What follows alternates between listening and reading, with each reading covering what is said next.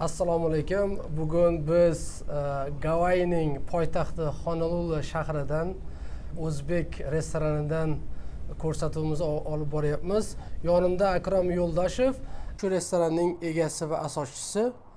Akromjon restoraningiz haqida va o'zingiz haqingizda qisqacha gapirib bersangiz. Assalomu alaykum. Xush kelibsizlar. E, man asli o'zbekistonni toshkent shahridan yettiteri mahallasidan sirg'ali dahasida katta bo'lib ota hovlimizda yettiteri bo'lganligi uchun yettiterada ham katta bo'lganmiz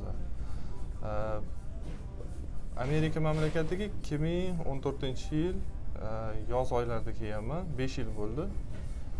Bu yoqqa qanaqa qilib keldik? Shu green card orqali ayolimiz to'g'ri gavayiga kelgansiz to'g'ri toshkentdan gavayiga bu yoqqa kelganmiz shu oilaviy ayolim hozir bir nafar qizim bor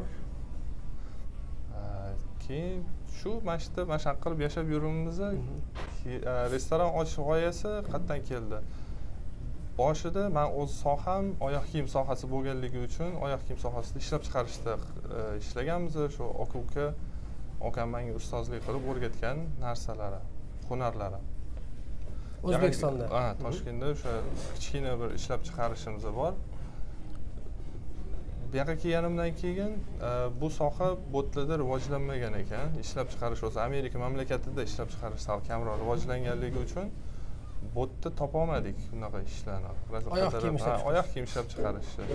Keyin bir oyoq kiyimga tegishli bo'lgan bir kichkina bir korxona bor ekan o'sha yoqqa ishga kirib ishladim. Baribir ham insoniyat borki o'sishga harakat qiladi oldinga qarab yurishga harakat qiladi. Kattaroq narsaga уже oyoq kiyimda bu yerda qanaqadir chegara bor o'shandan keyin biz sekin oilaviy maslahatlashdik er xotin. Endi har bir o'zbek yigiti bir shashlik qilishni bilsa kerak. Anavi go'sht qovurishni biladi. Mana shu narsani mo'ljallab turib bir kichkina joydan bir mana shu ovqat taomxona ochdik. Niyat qilib. O'zi akrombek o'zbeklar yoki ruslar yashamaydigan joyda bir o'zbek nomida bir restoran ochishga ko'p biznesmenlar qo'rqadi. Qo'rqishini sababi marketing. Ya'ni bu ovqatni tanimaydi ko'pchilik. Qanaqa qilib siz qo'rqmasdan o'zbek restorani deb silk road cafe deb ochib turib hamma joyda man menyularga qarab turibman asosan o'zbek restorani o'zbek ovqatlari degansiz. Ozgina shu marketing tarafdan qo'rqmadingizmi bu yerda mana restoran ochishni asosiy bir sababidan ham bittasi bu yoqqa kelganimdan keyin o'zbekiston xalqini ko'pchilik tanimas ekan gavayida. Endi nyu yorklarda yoki boshqa o'zbeklar yashaydigan joylarda tanishi mumkin bu yerda tanishmas ekan. O'zbekistonni o'zbekcha restoran ochamiz deganni bir sababi ham bu yerda o'zbekistonni bir reklama qilish. Misol mana shu narsa bo'ldida mana shu narsa turtki bo'ldi. Man bir ikki ovqat qilib berdim shu tanishlarga. O'zbekiston qayerda deb so'raydi kelib bitta qilib ko'ringlar bir давай o'zbeklarni nima qilamiz bilishsin biza ham taomlarimiz judayam o'ziga boy. O'shandan keyin mana shunaqa qilib ochilib ketib qoldi. Marketing yuzasidan qanaqa qildik? Boshida bu yerda to'rt oy mobaynida ta'mirlash ishlari remont ishlarini qildik. O'shanda faqat silk road cafe deb yozib qo'ygan edi o'sha buyuk ipak yo'li. Qanaqa taomligini yozmagan edi sababi insonlar qiziq bo'lsin marketingi bir anaqasidan har bittasiga kirib so'rayveradi o'zbekiston qayerda deb turib boshida biza katta qilib bitta karta yozib qo'yganmiz. Menyularimizni orqasida kartalar qo'yib qo'ydim bitta o'zbekiston deb turib shu marketingdan cho'chish bo'ladi baribir ham. Lekin biz har doim okam o'rgatganlaridek biznesni eng minimal darajasini hisobga olib turib biznes ochganmiz o'shaning uchun tavakkal baribir biznesda tavakkali bo'ladi akrombek silk road kafedan chiqmoqchisiz endi sotmoqchisiz. Xudo xohlasa sotishingizni sababi yana o'qishga qaytib bormoqchisiz to'g'rimi? Mba qilmoqchisiz ya'ni biznesga biznes magistraturasiga bormoqchisiz. Endi sir bo'lmasa qanchaga sotmoqchisiz? Bu restoranni umumiy endi hamma raqamlarni aytishing shart emas. Umumiy ko'rsatkichlar berishingiz mumkin. Bu restoranni olgan odam qancha daromad qilishini kutishi mumkin. Hammasini sotasizmi yoki ellik foizini sotasizmi necha foizini sotmoqchisiz? Shu haqida qisqacha gapirsangiz bo'ldi. Bu restoranni o'zi ochilgandan keyin uzoq muddat qilish niyati yo'q edi. Qanaqadir bir kapitalni kirgizib turib ozgina aylantirib u narsani olish. Shu vaqtga yetib keldi. Hozir mana ayolim anaqa mba o'qiyapti. Man imtihonga tayyorlanyapman yurg'izish bu yerda qanaqa? Baribir ham o'zbeklar yo'q bu yerda qaysidir amerikanецga ishonib turib ishlaniladigan joy. Daromad yaxshi keltiryapti yomon emas. Sotiladigan narxi har bir klient bilan gaplashiladi baribir ham mana kirgizilgan pul bor. Investitsiya qilingan pul bor. investitsiya qilingan pul bor. O'sha investitsiya qilingan pul baribir qaytarib olinish mo'ljalda bu yerda ochishga bizada yuz ming ketgan akrombek yana bir narsa qiziq e, umuman e, biz o'zbekistonliklar uchun gavayida qancha o'zbek bor o'zi? O'zbek yo'q desa ham bo'ladi. Mani oilam ha keyin e, qaynona qaynotamligini oilaligisi keyin o'zbekistondan kelgan uchta to'rtta ayollarni bilaman bo'ldi. Ham niyat qilardi chikagodagi o'zbek jamiyati nyu yorkdagi o'zbek jamiyatiga o'xshagan. Biz ham bir gavayda ochib qo'ysa yaxshi bo'lardi. Akrombek mana restoran biznesingizdan tashqari siz e, o'zbekistondan oyoq kiyim olib kelib sotaman ham dedingiz e, shu haqida qisqacha gapirib bersak men uchun shaxsan juda yam qiziq o'zbekistondan oyoq kiyim olib kelib turib gavayida do'konlarida sotishingiz. Buni e, qayerdan olasiz qanchaga olasiz qanaqa qilib olib kelish uni tartibi qanaqa va sotolyapsizmi bu muvaffaqiyatga erishyaptimi bu biznesingiz oyoq kiyimni birinchi partiyasini olib keldik. Ikkita palet keldi katta katta paletlarda. Ikkita paletni ichida qancha oyoq kiyim bor? uch yuz ellik par uch yuz ellik juft erkak oyoq kiyimlari. Ikkitasi jamlaganda uch yuz ellik par. O'shanda bir o'zini qanaqadir balandligi bo'lar ekan o'sha samolyotga sig'ish uchun mana bu ustrayt ochilgandan keyin bu ham bir bitta qulaylik bo'ldi ustrayt orqali olib kelindi birinchi partiya ustraytni ofisi nyu yorkda tashqi ishlar vazirligi qoshida ochilgan ekan bu narsa o'zbekistonda o'sha xat hujjatlarni qilib berishadi и bu yerda o'zligichni skladligichi bor ekan o'sha narsa ochildi yo'l sal tushirilgan narxlar bilan bu yerda qabul qilib olinar ekan keyin bu yerdan amerikani xohlagan joyiga olib ketaverasiz nyu yorkdan nyu yorkdan biz olib keldik nyu yorkgacha olib keldik. Keyin nyu yorkdan bu yerga kamazda kaliforniyagacha kaliforniyadan keyin suv yo'li bo'yicha bu yoqqa olib keldik. O'zi gavayi taxminan o'zbekiston nuqtasidan eng uzoq bir tochkalardan hisoblanadi. manimcha o'zbekistondan eng uzog'iga jo'natishmagan u. Mana shu eng uzog'i bo'lsa kerak. Keldi bu yoqqa. Hozir o'zbekistondan chiqqan poyabzallar shu yerda bor hozir bor bor. Do'konlarda bor. olsak bo'ladi ha ha bor. Endi o'sha narsani olib keldik faqat birinchi masala narxiga borib taqaladi. Yo'lkirani narxi. Shu narxini sal qanaqa qaysidir yo'l bilan bir tushirib olib kelinsa bundan ham kuchliroq raqobatbardoshroq mhm. bo'lardik. Shuni soddaroq qilib aytsangiz mana oyoq kiyim o'zbekistondan qanchadan chiqyapti eksport sifatida mhm. va sizni qo'lingizga gavayi kelib tushguncha ham e, yo'l xarajatlari bilan birga qancha bo'ldi va uni siz e, bozorga qanchadan olib chiqib sotyapsiz? Ho'p o'zbekistonda narx navolar har xil. Misol uchun o'n besh dollardan boshlab turib o'ttiz o'ttiz ikki dollargacha biza olib keladigan ha aqsh dollarida agar summani hisoblasa. Bizani oyoq kiyimlar endi o'zim akam chiqaradilar. Misol uchun o'shani o'shani hisobiga yigirma dollardan shu toshkentni o'zidan chiqadi bizaga ha bu yoqqa olib kelish uchun ustrayt orqali keyin hamma shu yo'nalishlar bo'yicha bu yoqqa olib kelguncha bir o'n to'rt dollardan oshdi. Ustiga qo'yiladi o'n to'rt dollar yo'l kirani o'zi har bir juft uchun. Mhm.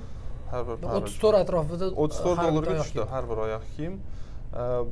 Bu katta miqdorda sotish uchun bu narxlar qimmatli qiladi o'ttiz to'rt dollardan qo'lingizga kelib tushishi qimmatli qiladi bozor uchun. Ha bozor uchun kattaroq misol uchun bitta konteyner ikkita konteyner sotishingiz uchun qimmatli qiladi.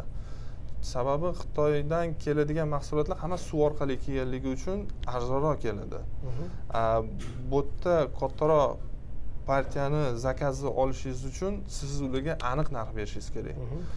Hali o'zbekiston bu uzoq mamlakatga jo'natmaganligi uchun misol uchun shaharlarga distansiyalarga jo'natmaganligi uchun aniq narxni hisoblab bera olishmadi boshida. Endi mana birinchi olib kelganimizdan keyin o'n to'rt dollarga tushdi. Endi konteynerda olib kelsa arzonroq tushar ekan bu narsa. Lekin konteynerda ham qancha vaqt oladi degan savolga hali aniq javob yo'q. Chunki bu yoqqa jo'natilinmagan mol mahsulot o'zbek botga olib kelgandan keyin o'ttiz to'rt dollarga tushdimi? Magazinlar bilan ishlashga majbursiz. Sababi ular katta miqdorda olmaydi. Olsa misol uchun ellik par yuz par boshlanishiga bir olib ko'rishi mumkin. И onlayn misol uchun internet orqali sotishga harakat qilyapti qarang e, siz juda nima deydi asosiy nuqtaga e, to'xtaldingiz. O'zbekiston hozir iqtisodini rivojlantirish uchun va inflyatsiyaga qarshi kurash uchun eksportni ko'paytirish kerak. Eksportni ko'paytirish uchun siz bu yerga olib kelgan xom ashyolaringiz yoki mahsulotlaringiz xitoy bilan raqobatlashishi kerak. Siz mana kichik biznes egasi sifatida nima o'zgarishi kerak? O'zbekistonda yoki o'zbekiston tashqi ishlar vazirligi qoshida ochilgan e, siz aytayotgan e, tashkilotda nima o'zgarsa sizga o'zbekistondan ko'proq eksport olib kelib o'zbekiston mahsulotlarini amerikada sota olasiz. Hmm. mana prezidentimiz aytgan edilar. Rivojlantirish kerak bo'lgan narsa shu gaplarga qo'shilaman logistika. Mhm. asosiy narsa misol uchun mahsulotingiz oladigan xaridor bir mahsulotni olyaptimi misol uchun tan narxini biladi va bu nuqtadan ikkinchi nuqtaga borish narxini bilishi kerak qo'liga kelib tushgandan keyin nechi pulga tushishini bu narsada noaniqlik bo'lsa bizada shunaqa bo'lib qoldida boshida. Klientlarni gaplashdik boshqa qildikda hisoblagan paytimizda yetti dollarga tushyotgandi har bir oyoq kiyim ustiga. Keyin bu yoqqa tushgandan keyin общий xarajatni hisoblagandan keyin o'n to'rt dollarga tushdi. Bu kattaroq объемda ishlayman desangiz bu qattiq ta'sir qiladi. Sababi bir olgandan keyin bir konteynerga yigirma ming par oyoq kiyim sig'adi yigirma ming parda bu yetti ming bo'lsa bu katta farq o'ynab ketib qoladi. Narx navoni arzon e, misol uchun aniqligi hech bo'lmasa aniqligi. Arzonroq o'zbekistonda aniq misol uchun e, oluvchini qo'liga nechi pulga kelib tushishi. Unisi aniq. Siz akangizni qo'lidagi mahsulotlar ular yo'q yo'q. U yoqdan jo'natilgandan keyin man как o'rtada turgan odamda mana siz oluvchisiz u yoqda ishlab chiqaruvchi man siz bilan договор qilaman siz u yerdagi odam bilan qilolmaysiz договор to'g'rimi? Siz bu yerdagi ochgan kompaniya ochgan odam bilan договор qilasiz. Sizga aytishim kerak misol uchun man sizga bir oy ichida oyoq kiyim olib kelib beraman. Siz shunga qo'l qo'yasiz. Keyin man u yerdan qanchada keladi deb savol bersam aniq bilishmaydi hech kim o'sha boya aytganingiz unda logistikaga taqalar ekan. Hali bu e, logistika firmalarining shakllanmaganligi rivojlanmaganligidan dalolat beradi. Rivojlanib kelyapti. Mana уже nyu yorkgacha keldi. Endi boshqa anaqalarga ham bir chiqsa xudo xohlasa yaxshi bo'ladi. Akam men uchun yana bitta alohida narsa qiziq. E, mana besh yildan beri e, honoluluda yashab bu yer o'zi qanaqa joy? Bir o'zbek farzandi sifatida kuzatganlaringiz odamlari qanaqa yashash sharoiti qanaqa bularni o'zi qanaqa joy? Biz uchun masalan e, man nyu yorkda ko'p yashaganman osetda yashayman e, hamma joyni o'ziga xos bir e, nima deydi alohida xususiyatlari bo'ladi. Bu gavayi qanaqa joy o'zi? Oddiy tilda gapirganda. Gavaya bu yerda aloha deyishadi. Birinchi kelgan paytimda tushunmas edim bu narsani. Keyin uch to'rt marta shu materikka borib o'sha mainlandga borganimda mainland deganingiz amerika. Amerikani haqiqiy shimoliy amerika. Orol emas misol uchun shu qirq sakkizta shtat joylashgan. Borganimda besh oltita shtatlarni ko'rdim. Mana besh yil davomida. Oxirgi borganimizda bir oy oldin nyu yorkka bordik. Odamlari bu yerda xursandroq. Asabi tinchlanganroq bu yerda. Bu yerda. Tabiat go'zal. Tabiat tabiat ta'sir qiladimi bilmayman bu yerda keyin anaqa kamroq irqchilik kamroq boshqa boshqa shtatlarga qaraganda bu yerda irqchilik kamroqligini sezadi. Hmm. u yerdan keyin odam sezishi mumkinki bu yerdan bu yoqqa e, mainlandga borgan odam sezadi. Hmm. aloha shu mana mana shu narsa bilan aloha deb kelishadi. O'shaning uchun aloha state deganligini sababi ani ochiq ko'ngillik bilan kutib olishadi. Bu yerda turistlarga e, immigrantlarga judayam yaxshi qaraydigan joy. Odamlar xushmuomalaroq xushmuomalaroq yumshoqroq muomalasi. Keyin vaqt bu yerda sekinroq o'tadi. U yerda hamma shoshib yursa ishga endi anaqa boya aytganingizdek e, sizga yoqmaydigan tarafi bu yerda o'zbeklarning kamligi. Kamligi. Shunaqami? Vataningizni qo'msaysiz e, bu eng nozik masala. Yig'lab yubormang faqat. yo'q man mana kelgan e, ko'p o'zbeklardan bir xilla mana sovet paytida chiqib ketganlar bor ekan. Toshkentdan chiqib ketgan o'rislar bor bu yerda. Sakson to'qqizinchi yilda chiqib ketgan farhadskiy farhod bozorini oldidan. Juda ko'p. O'shalar bilan so'raymanda mana san o'rismisan yoki o'zbekmisan deyman? Yoki amerikanецmisan endi bu fuqarosi bo'lib ketgan ular o'ttiz yildan oshiq yashashadi.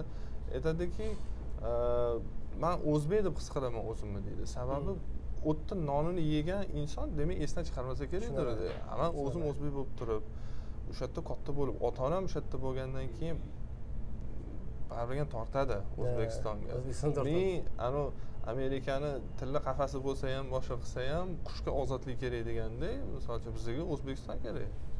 Yashang. O'shaning uchun tortib ketaveradi o'sha yoqqa qarabda mana kimdan so'rasangiz ham uydagilarimdanmi yoki ayolim ham biladi bu narsani. To'rt kun besh kunni ichida bo'ldi ketamiz. Mana shu gapda. Ketamiz ha. Nimaga? Balki kimnidirga balki yaxshidir botlar. Yoqar boshqa qilar manga ham yoqadigan taraflari ko'p. Misol uchun bolalarga ilm berish dunyoviy ilm berish har xil taraflari bor. Lekin o'zbekistonda olinadigan bir qadriyatlar borki uni hech narsaga alish bo'lmaydi manda mana shunaqa narsalar bor. Ayniqsa qiz farzand katta qilayotganingizdan keyin ertaga yigirma yildan keyin nima bo'lishini o'ylab ketib qolasiz shunaqa shunaqa. Mana shu tomondan shunga tezroq o'qishlarimni bitirib o'zbekistonga qaytaman deyapsiz. akrom aka katta rahmat sizga bugun e, nima deydi mehmondorchilik uchun. Alohida rahmat. bu yerda o'zbekni nomini ko'tarib yurganingiz uchun e, bu nima deydi borsa kelmas orollarda buni o'zi katta e, vatanparvarligingizdan dalolat beradi sizni kelajakdagi ishlaringizga omad tilayman. Eson omon o'qishlarni bitirib o'zbekistonga borib vatanga xizmat qiling. Tashakkur etaman. Rahmat farhod aka sizlar ham kelganingiz uchun rahmat. Xudo xohlasa bu oxirgi marta deb o'ylamayman. Oilaviy yana bir xudo xohlasa kelsanglar bizlarnikida mehmon bo'lasiz